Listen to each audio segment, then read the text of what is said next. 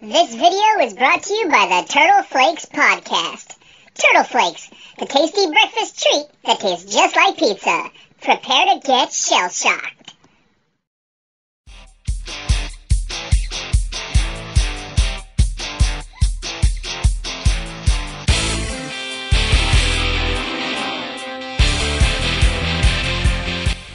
Cowabunga dudes, this is Anthony, aka Batbomb 82, and welcome to another episode of Totally Tubular Turtle Tuesday, the one day of the week where I take a look at something TMNT related. So for this episode, I'll be taking a look at the Teenage Mutant Ninja Turtles Vintage Collection, Ace Duck. Now, Ace Duck always had a soft spot in my heart as a kid. I think, like most kids in the 90s, we just had an affliction for ducks. With things like Darkwing Duck and DuckTales and even the old Howard the Duck movie for someone like me, I absolutely loved these guys. Now, Ace Duck had a really cool wingspan and pretty awesome weapons, and I absolutely loved him. But before we take a closer look at the figure, let's give you a quick rundown of all the radical things that he comes with. Now, Ace Duck came with some pretty cool accessories. Starting off, he came with his Service 45 pistol, a weapons belt with A grenades, plug in wings, and his removable pilot's cap. So, with the accessories out of the way, let's take a closer look at Ace Duck. Alright, guys, now let's take a closer look at Ace Duck. Now, this guy is truly awesome. I always had a very soft spot, uh, soft spot in my heart uh, for this character. Um, I'm not sure what it was about him. I think he kind of just reminded me of that time in the 90s when we just had a lot of duck characters, you know, with things like a Darkwing Duck and DuckTales and things like that. Um, I always kind of pictured him kind of like in that universe, almost like a, a Launchpad McQuack kind of thing, but a little more badass and a little more deadly because this dude straight up carried a pistol and grenades, which is pretty awesome. Uh, so I think that's what it was with Ace Duck. Uh, just a really cool character in my opinion. Now I do love the sculpt of this. It is pretty, it's, it's a lot simpler uh, than some of the other you know, when compared uh, to the other figures from the old vintage line, uh, but it's still very nice and it works for. Oops, excuse me, and it works for the character. Uh, so you got his uh, really cool head sculpt. You know, pretty nice when you got the white teeth in there. Uh, I don't know why a duck has big gritting teeth, but hey, it's what it is. Uh, looks really cool. Big, big black eyes right there. If I can get my camera to focus.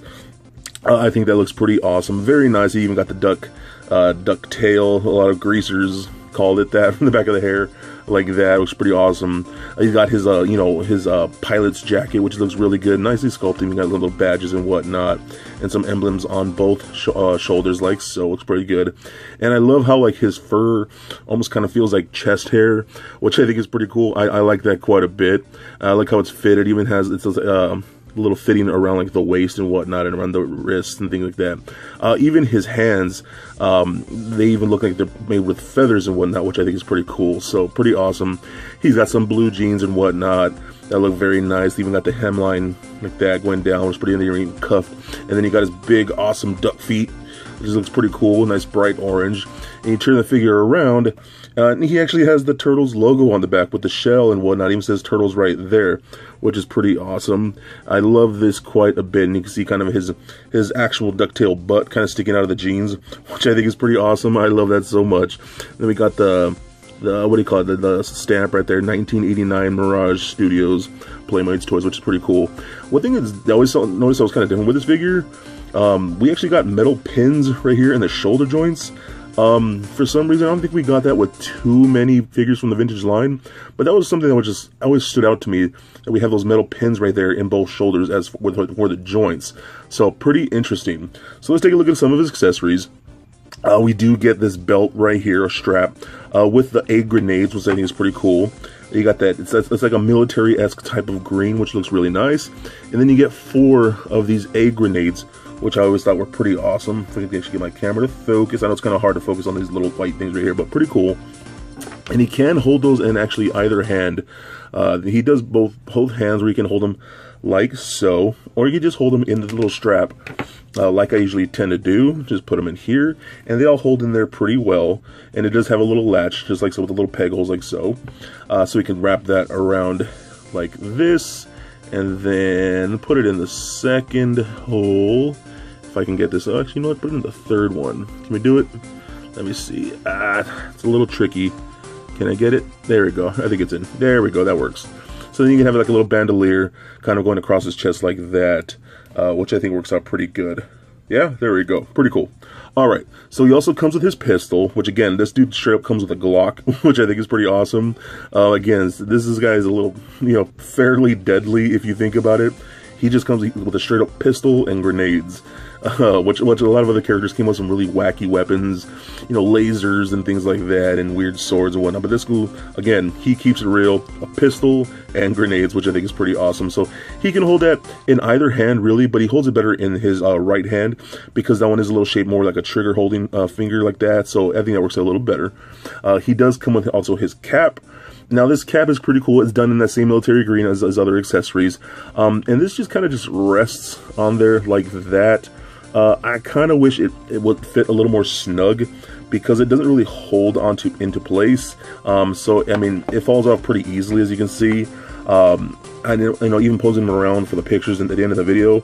Every time I posed them around, this cap was just kind of flying off and moving around and things like that. So it's a little disappointing, but I mean, it still looks really cool when it's on him. So I think if you just get a little sticky tack, put some sticky tack in there, and then put it on like that, and then you can hold it on pretty good. So awesome. Uh, we also get his wings. Now his wings were really cool.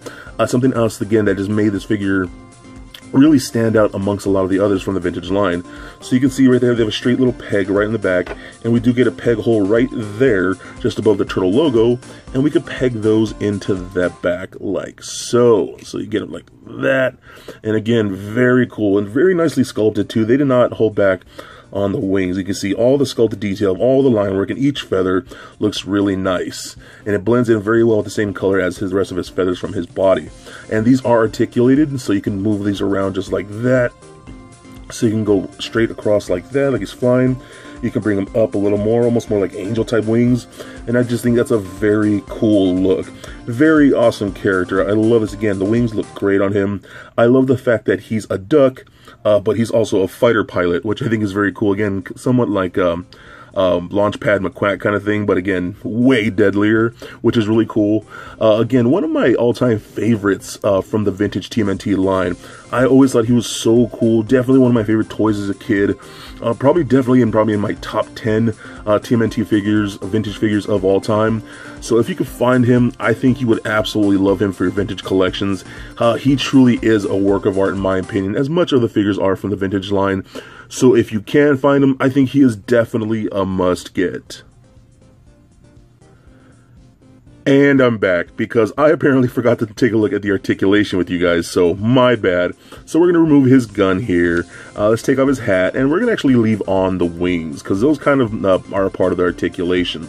So the head is just on a straight up swivel peg. Uh, you can rotate just left and right, just like so. Uh, these arms are on like that weird hinge with that metal, metal pin so they can go up and down as well as out like that which was kind of rare uh, with these vintage figures because usually you're just going to get mostly up and down uh, and then you rotate at the wrist. That goes for both arms so up and down and then out like so and rotate at the wrist.